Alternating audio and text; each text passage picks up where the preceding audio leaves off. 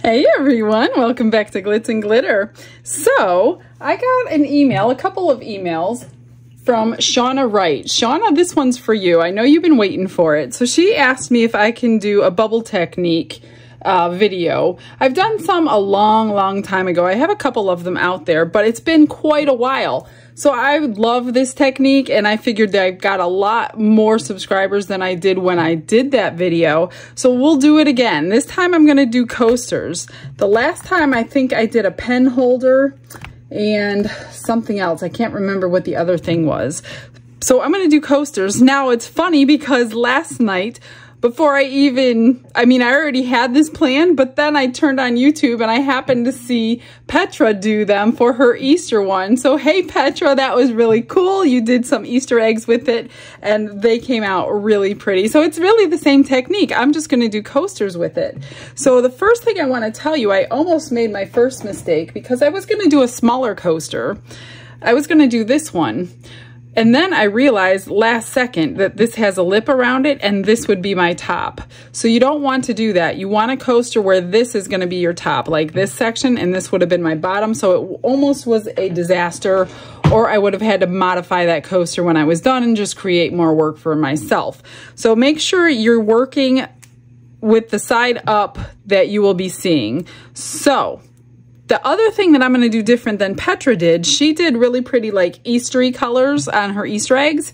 I'm going to show you four different ways to do it or four different powders, I should say, so you can see the difference in the powders and the way they look with this technique. Now, if you haven't seen this technique, stick around. It's really cool. We're going to use some dish soap and some water and some UV resin later. But first, I want to put a base layer in here. So if you're going to use something like this, so one of mine is going to be a chameleon powder. This one is my Galaxy. This happens to be my large bottle or an intense chameleon powder. If you're gonna use one of these kinds of powders, which most of the time you do, you're gonna want a, ba a black background. So we're gonna pour a black base, one ounce in each coaster, but only two of them are going to get a black base. The two that are, these are going on will have the black base because these colors look best underneath a black surface. The next one I wanna try and show you and see if it's gonna work, I'm going to do the base in this light purple. This is out of my new package from the 60 colors. So I'm going to do the top with the holographic glitter, and this one is purple. So I thought these two colors would go well together. So one of them will be light purple. And then the last one, I'm going to do a nail powder, and this is like a iridescent one once it's painted on. I know it looks blue, but it is has some iridescence in there. I don't know if you could see through the bottle. So for the backing on this one, I'm going to use my interference blue powder and just a tiny, tiny little bit of the light blue, not much at all, because I want that powder to do its magic. So we're gonna do this four different ways um, let me get some resin. I'm going to be using my casting resin. I'm going to mix up four ounces. Like I said, one ounce for each one. I'm going to tint two of them black, one of them purple, and one of them really, really, really light blue. So let me get that mixed up.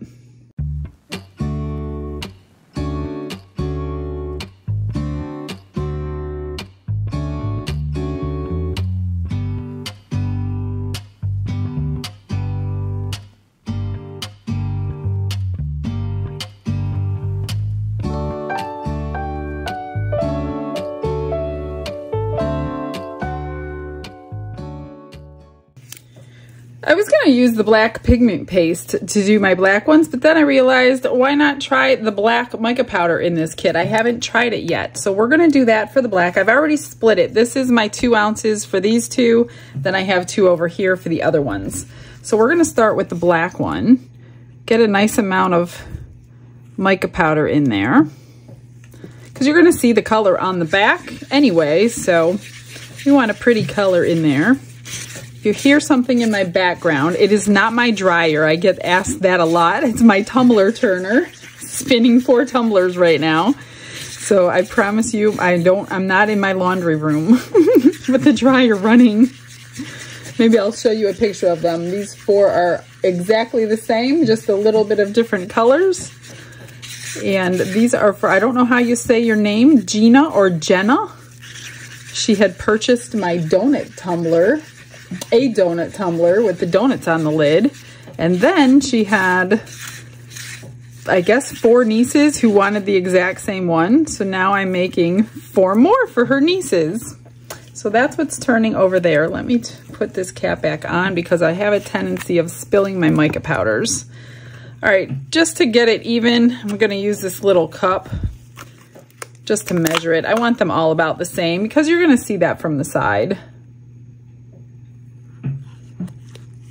So basically, I'm just gonna pour my colors in now and then we're gonna let them cure.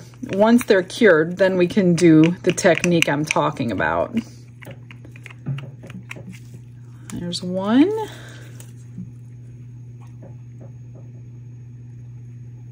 Yep. That was about two ounces, so this little cup is a pretty accurate. It holds about one fluid ounce.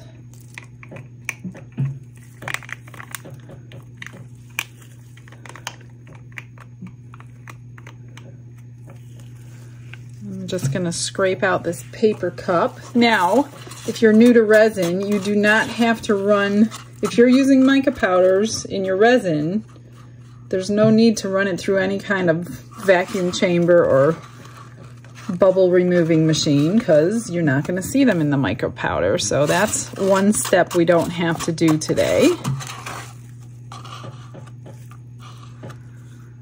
All right, so I'm just gonna wipe off my stick so I could use it again.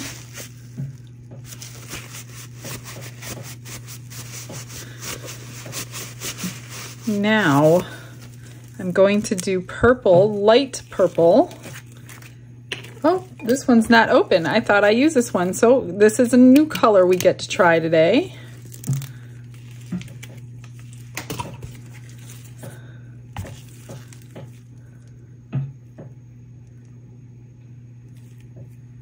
It should be enough. As you can see, I have my three amigos over here in the corner.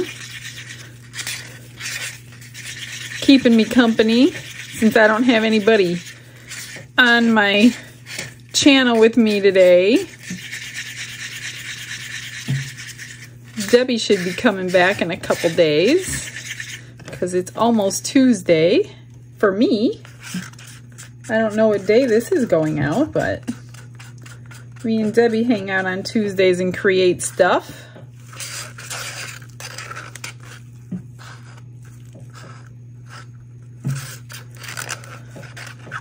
These coaster molds hold two and a half ounces, which is a pretty, you know, a little bit, it's a great size for coasters. So you're not pouring four or five ounces at a time when you want to make a set of coasters in there definitely thick enough when they're done. So I think it's a great size coaster mold. Everything that I use is linked in my description box if you are interested in any of that. If you don't know where I got it or if you want to get something like that, just go to my description box. It's all in there plus a whole bunch of other things. In fact, this set will be in my description box. If you want this set, I do sell my demos at a very low cost just to get them out of my house. So that seems to be going well. Thank you to every single person who are taking them off my hands. I appreciate it so my house isn't filling up with all kinds of stuff. Now just make sure your mica powders are mixed in really, really well or you will see them on the backs. I'm just gonna put in like the tiniest bit of this blue because I don't wanna affect see that? Like barely. There's barely anything in there. I don't want to affect that powder the iridescent powder but I do want a little bit of a blue hint to just help it that's about perfect I have not done them like this. So this is kind of an experiment for me as well, but I'm pretty sure it'll work. I don't see why it wouldn't work. but I did want to try it since I was going to be doing this technique today. So we know in the future, and you'll know in the future, how many different powders will work if you want to try it. It's really, don't be intimidated. It's not hard at all. All you need is a UV light though, UV resin, and you'll need um, some dishwashing detergent, not detergent, but dishwashing soap. I'm pretty sure you all have that at home. All right, I'm gonna find my alcohol spray and I'm gonna pop some bubbles. Not that you're gonna see them because we're not. And we're just gonna sit and let these cure. I'm so excited for the curing because I haven't done this in so long. So I will see you in a second.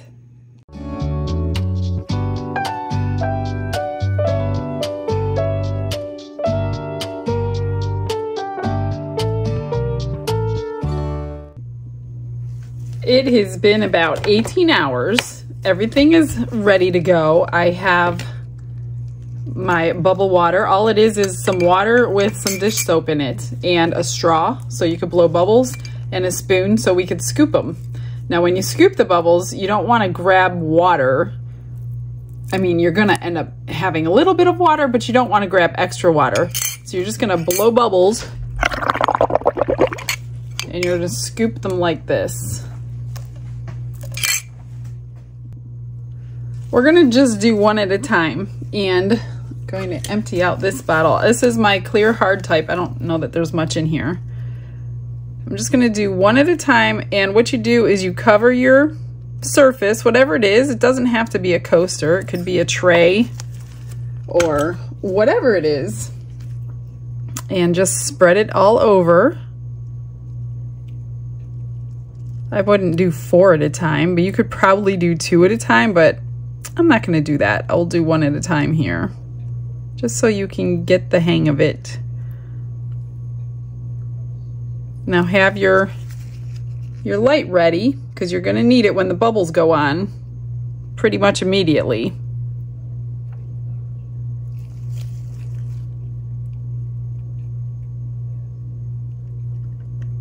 All right. I'm just going to set that aside. We're gonna get some bubbles blown. Let me get my spoon out of here.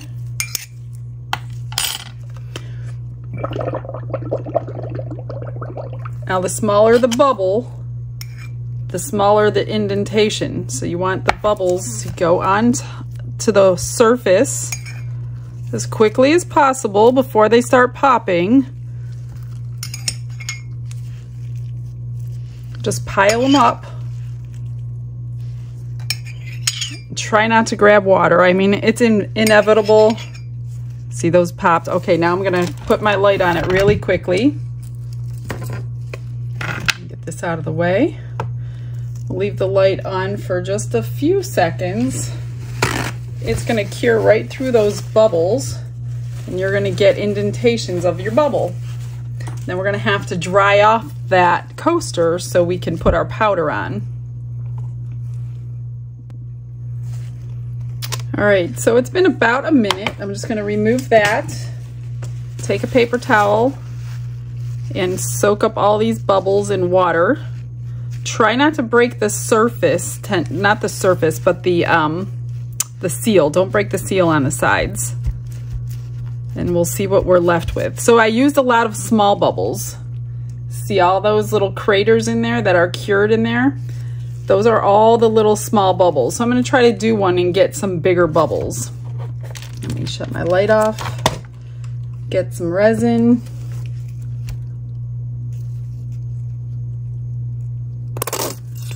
This end of this bottle.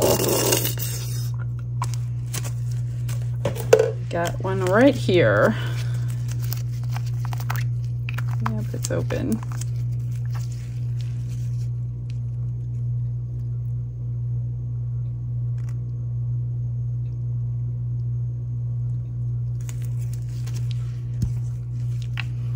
Just get something to spread it around with.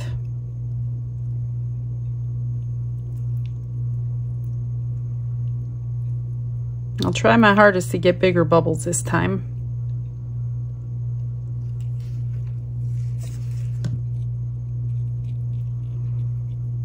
If you have a larger container, I have a coffee mug here with my water in it. It's not that huge to get big bubbles made. So it might help if you if you want big bubbles to get a larger container so you have more surface space to make them. We are going to top coat these, so even if the UV resin doesn't touch everything, it doesn't matter. Okay, ready?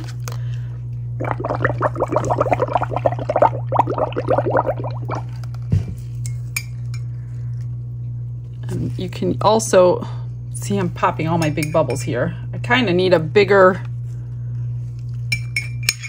spoon as well.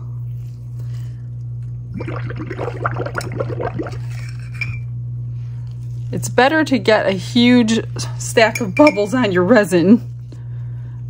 And I'm not doing this quick enough because I'm trying to... Okay, let's try that and see what we get.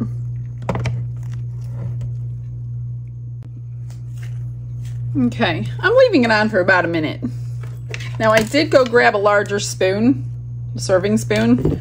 That way I can grab more bubbles at once. So this one looks a little bit bigger. So depending on what look you're going for, so here's the small bubbles and here's the larger bubbles. Now let's move these out of the way and we'll do these two. Let me get some resin on here. Hopefully this bigger spoon works better because they are going to start popping while they're waiting for you to get them all on. They're not just going to sit there and wait for you. So the bigger the spoon you have, the faster you can get your bubbles onto your surface. And if they pop, then just put some more bubbles over them. It's still going to cure through it.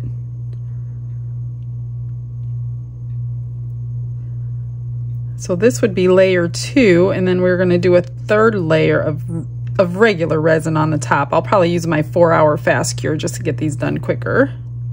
But you don't have to, you can use any kind. All right, let me try the larger spoon now.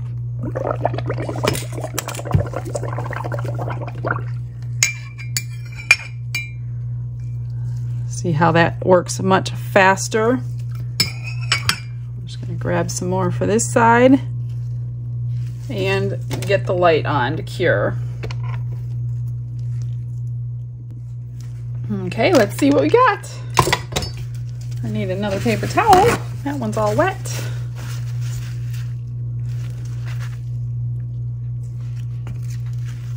Oh, that one looks cool. There we got big ones. So now we got small little tiny bubbles. Then you got medium, and then you got large. So let's do one more and see what we get.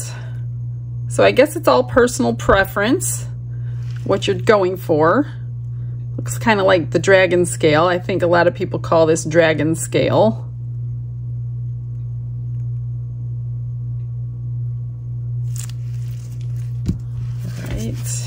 Last one and then we're gonna brush on some mica powder. So I got my switching sponge out. That way I can brush the powder into the switching sponge to change over to the next powder.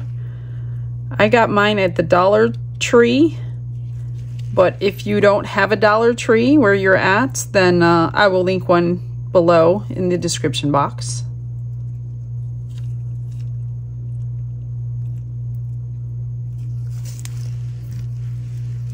Little more, not quite covered.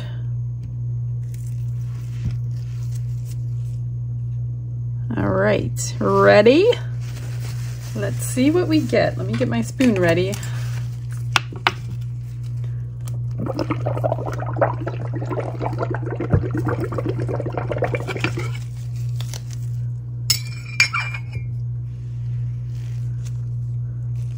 Come on, get off gonna do a little small and a little big. And a little more on this side. All right, let's see what we get. Last one. Okay, I'm doing it for less than a minute. Doesn't take that long. Let's wipe this one up. See what we got. Then I'm gonna fully dry these before I put any kind of powder on there. You don't want any. So we kind of got like a nice variety, small, medium, large, and then a little bit of both on this one. So let me just take a minute or two and get these dried off. Get your switching sponge ready. That's what this looks like. And you'll just take your brush and wipe it in there when we change powders. And um, then we will get started with the next step. They're fully dry now. I'm just going to take this blue powder. I'm going to start with the lightest one and work my way down. And we're just going to brush this into the UV resin. It will stick. and it should have a really cool iridescent effect underneath the resin when we top coat it. That's why I made a little light blue background for it, just to kind of help. It would probably work with a like a white background too, I'm thinking. I just wanted to make sure we got the blue color out of it. You could put any color background you want behind this stuff and you'll probably get a different effect depending on what kind of powder you're using. Okay, that's more than enough. And what I'm gonna do, I'm gonna take these over to the garbage can with like a big puffy, this brush right here. Actually, no, I'm not because that one has gold in it. So I'm gonna take this to the garbage can and wipe everything out. So I just took this large clean brush and I just wiped all of the extra powder out like that. So now we're going to do the purple one. So I'm just going to get all my powder into here from the blue.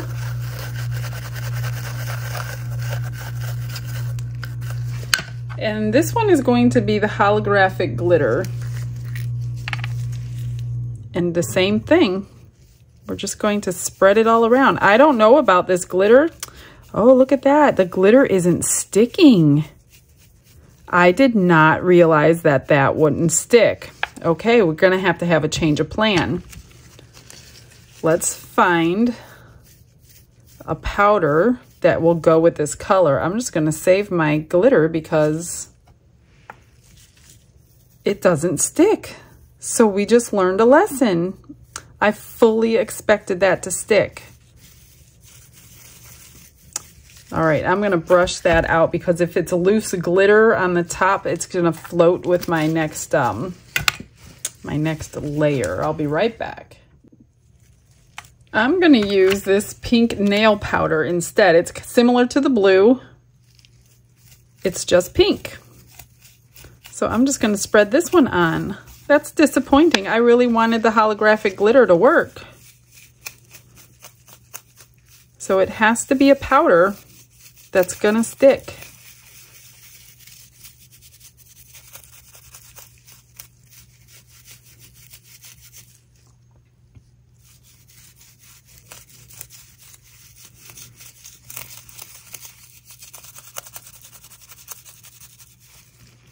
Get it all in those spots.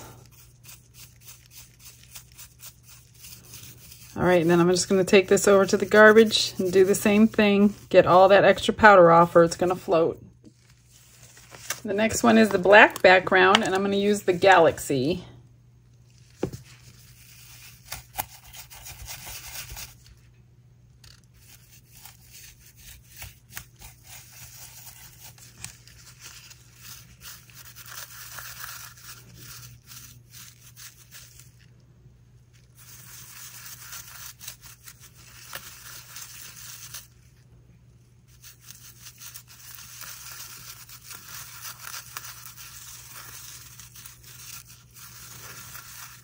All right, and then before I go brush it off, I'm just gonna do the last one.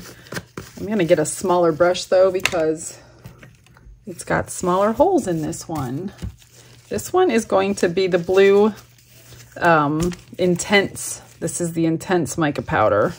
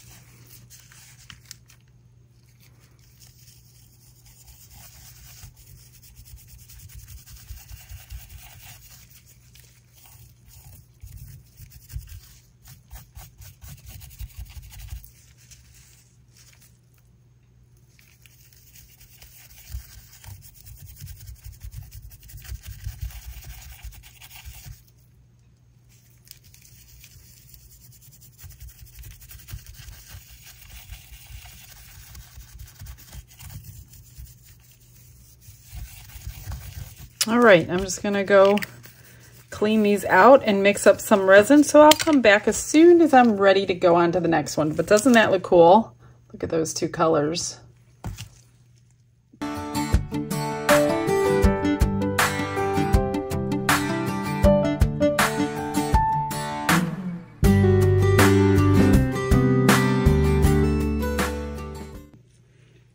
Was seven more ounces, so I'm probably gonna have extra.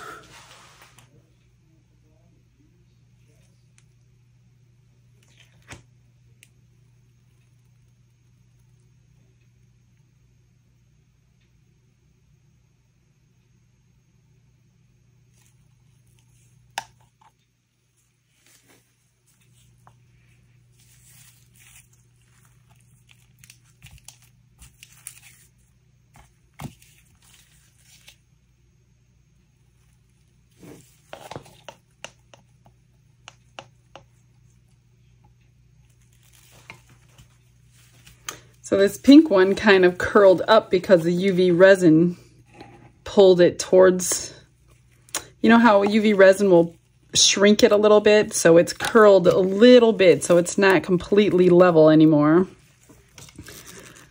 So I'm definitely gonna have extra. I'm just trying to pour them from eye level so I can see when to stop. That's why you don't hear me. Whoop, that one's got way too much.